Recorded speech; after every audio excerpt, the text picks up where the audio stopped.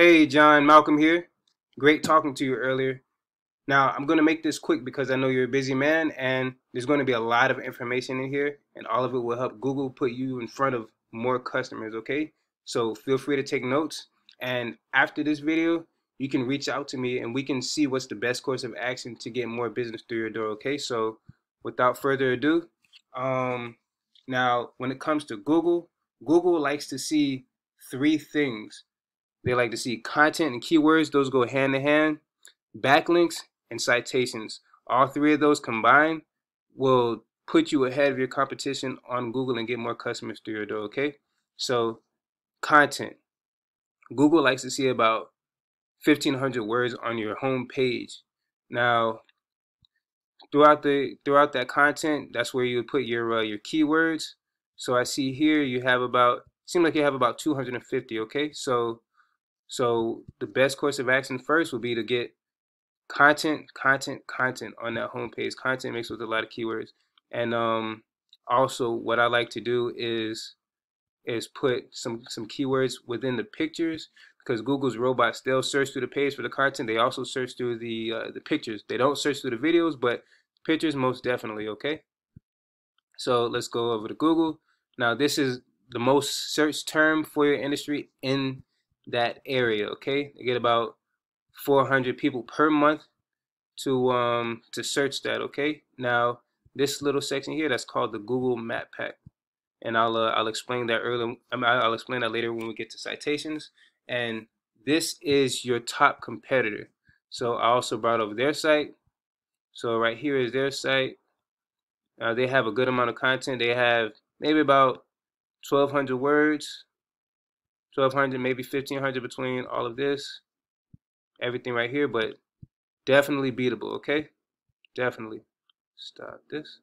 All right so next I have a tool over here. It's called Ahrefs and this lets me know the different type of keywords that, that, that people have used. It shows me um, the backlinks that uh, that everyone uses as, as well as how long their, their website has been active.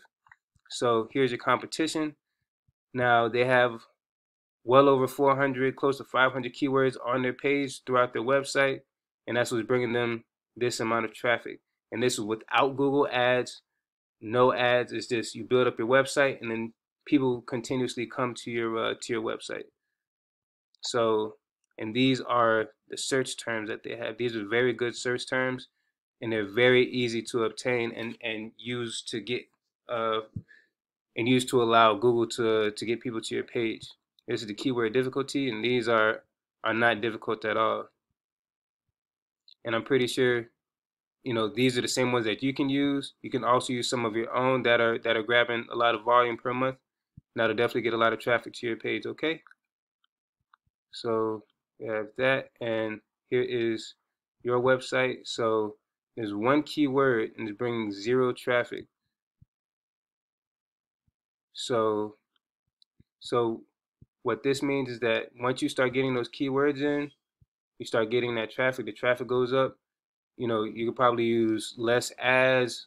You know, you'll still have the the word of mouth, but but the word of mouth mixed with the um, the traffic that you get from your web page will definitely grow the business. All right, and um, let's take a look at the uh, at the backlinks now. Basically, what a backlink is is a link on a different page that points to your page, kind of like a popularity contest.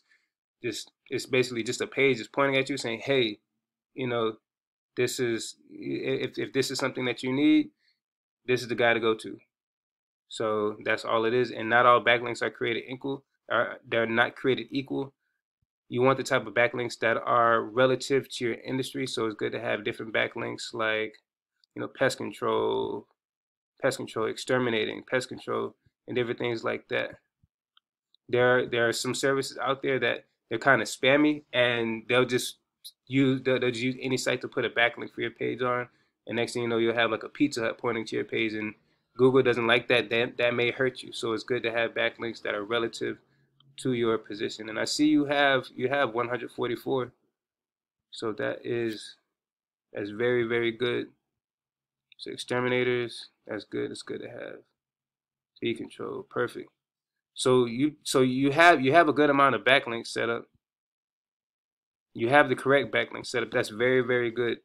But the backlinks the in order to get those backlinks to work, those keywords also have to be working. So next is the uh, is the citations. Now a citation is your your name, address, and phone number on a directory on the internet, and that's what gets you to this map pack. See the the map pack will be the very first thing that that the people see, but those organic listings that'll also get you a lot of traffic. So I have a tool over here that shows the citations. It's called WhiteSpark. So your competitors, they have nine citations just scattered throughout the internet. And I see you you have 36. So there is no reason that you cannot beat this company. You know, with uh with my help, let's see what we can do. And we could definitely get those keywords in order, get you that traffic, and definitely get a lot more business through that door, okay? So this is uh this is my website. This is how you contact me. Malcolm at Brooklyn SEO expert. This is the website. I am local. So if you like what you see, feel free to give me a call, shoot me an email. Doesn't matter. look forward to hearing from you soon, all right? Thanks a lot, John.